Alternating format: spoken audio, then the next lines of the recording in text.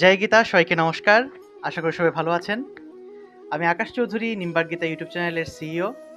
তা আজকে আপনাদের সাথে একটা বিশেষ বিষয় নিয়ে কথা বলব, আর সেটি হলো আগামী সাত জুন হতে আরম্ভ হতে যাচ্ছে আমাদের গীতা বেসিক কোর্সের অষ্টম ব্যাচ, অর্থাৎ আট নম্বর ব্যাচ। তা এই আট নম্বর ব্যাচে আপনারা গীতার বিভিন্ন অক্ষরের, যে সংস্কৃত বিভিন্ন অক্ষরের শুদ্ধ উচ্চারণ কীভাবে করতে হয় কীভাবে গীতার শ্লোকগুলো আপনারা শুদ্ধভাবে পাঠ করতে পারেন, কীভাবে ছন্দ দিয়ে, সুর দিয়ে, তাল দিয়ে পাঠ করতে পারেন, সেইগুলো সেই কোর্সের মধ্যে শেখানো হবে। দুই মাসের কোর্স আপনারা আশা করি সবাই সেই কোর্সে যোগদান করবেন। জুম অ্যাপের মাধ্যমে ক্লাস হবে অনলাইনে এবং প্রতি শুক্রবার বাংলাদেশ সময় রাত আটটা এবং ভারতীয় সময় রাত সাড়ে সাতটায় ক্লাস হবে।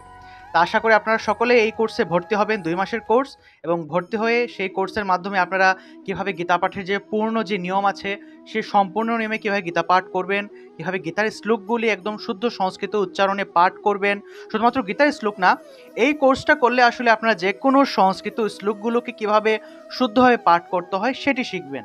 অর্থাৎ এই বেসিক অর্থাৎ বেসিকটা যদি আপনাদের ক্লিয়ার থাকে বেসিকটা যদি আপনাদের ঠিকমতো করা থাকে ঠিক আছে? তাহলে আপনারা যে কোনো এটা চণ্ডী হোক, বেদ হোক, উপনিষদ হোক, গীতা হোক, অর্থাৎ যে কোনো সংস্কৃত মন্ত্র অথবা শ্লোক আপনারা শুদ্ধভাবে, শুদ্ধ সংস্কৃত উচ্চারণে পাঠ করতে পারবেন।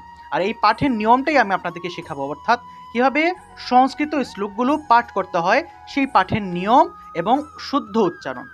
তা আপনারা আশা করি আমার এই গীতার বেসিক কোর্সে ভর্তি হবেন দুই মাসের কোর্স এবং ভর্তি হয়ে আগামী দুই মাস।